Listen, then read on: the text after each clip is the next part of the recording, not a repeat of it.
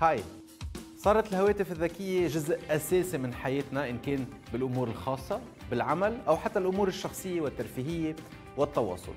ومن دون ما نعرف هالأجهزة حلت محل عدد كبير من الأغراض والأجهزة اللي كنا نستخدمها بالسابق.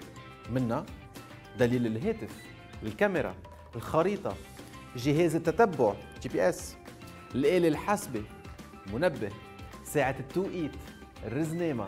راديو جريدة ورقية مجلات كتب الطبخ المجيب الآلي مسجل الصوت الضوء البوصلة البريد بطاقات السفر ألبومات الصور العملة الورقية السكانر ال walkie talkie remote control وراء اللعب دفاتر المذكرات معاجم كتب الترجمة الموسوعات العلمية المرايا الشيكات وغيرها كتير.